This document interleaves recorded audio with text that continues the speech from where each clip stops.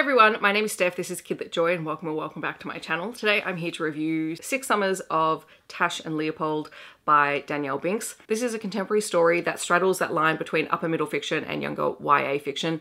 It would be perfect for anyone in that transitional category from primary school to secondary school. That's mostly because the characters are transitioning from year six to year seven and so the story really fits beautifully into that age bracket. It's a fairly hard-hitting contemporary story as well, but there are some incredible moments in the book. So I do want to read you part of the synopsis just to give you a sense of the story, and then we'll talk a little bit more about it. Alytash, and Leopold are neighbours who used to be best friends, but aren't anymore, for reasons that Leo doesn't entirely understand. But now it's the last week of year six, and Tash is standing in Leo's front yard with a misdelivered letter and a favour to ask. It's a request that will set off a chain of events in Noble Park, their little suburb that is changing and fast. And so this is the story of two characters who grew up as friends. They're, they're neighbours and they spent most of their childhood as best friends. We find out throughout the course of the story that Tash has been dealing and fighting leukemia for a significant portion of her life. Part of that is the reason for the breakdown in their friendship, but Leo doesn't really understand that because it all happened when he was still quite young. So he's still he doesn't understand why Tash kind of pulled away from a lot of her friends. And there is a discussion later in the book about why that happened. But they are nearing the end of grade 6 and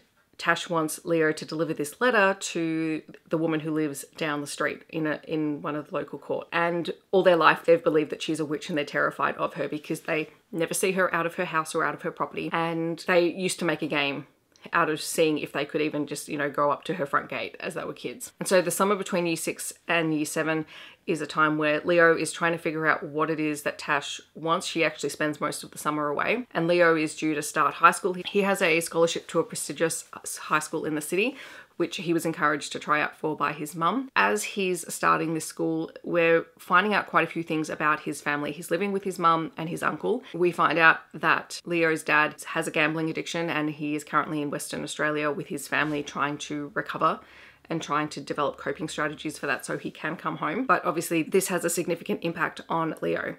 And when he starts school, he really struggles and he ends up with so much anxiety that he can't attend school. And so he has to do school online. And this causes friction within his family because his mum doesn't understand why he can't just go to school. We also find out that Tash is also being homeschooled and Leo is worried that her cancer is back. And as Leo and Tash begin to reconnect, they also find out more about the woman who lives down the street and they find out that she lives with agoraphobia her son died previously, and so that's mentioned, and so that is mentioned on page. There is also a building development that is happening, and the builders are trying to force this woman out of her home and that has huge ramifications for their little local community. I will caution, along with everything else that's mentioned in terms of addiction and children dealing with cancer and anxiety, there is also the death of an animal in the story, so just be prepared for that. But it is so beautifully written and so wonderfully told.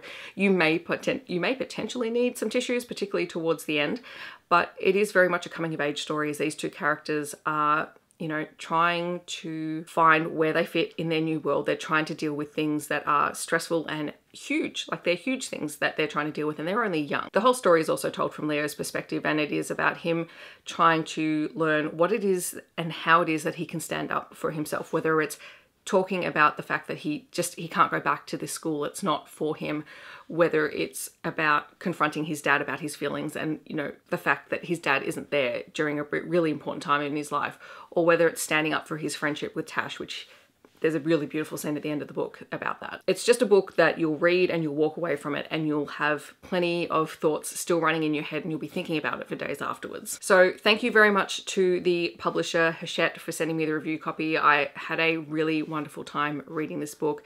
For as hard hitting as it was, it is so beautifully told and just a really great, great Australian story for younger readers. In the description below, I will leave links for where you can find out more information about the book and the author. If you haven't read any of Danielle Binks' books, I highly recommend all of them. They're, they're really fantastic. If you'd like to let me know that you're here but you don't leave a comment, feel free to leave any kind of emoji that represents summer to you. Otherwise, I hope that wherever you are in the world, you're staying safe and healthy and I'll see you in my next video. Thanks so much for watching.